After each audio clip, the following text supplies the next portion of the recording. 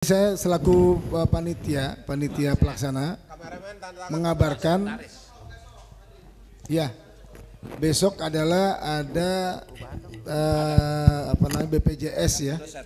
Jadi BPJS ini insya Allah eh, akan mengcover daripada kita berharap ya kita berharap eh, kalau semuanya kita ikut sertakan dalam BPJS bisa mengcover daripada anggota kita ini anggota AMPU bila mana terjadi musibah meninggal dunia itu ada santunan kepada ahli korbannya sebesar 42 juta rupiah kalau nggak salah ya. Eh, namun kita akan pikirkan besok seperti apa ya ya.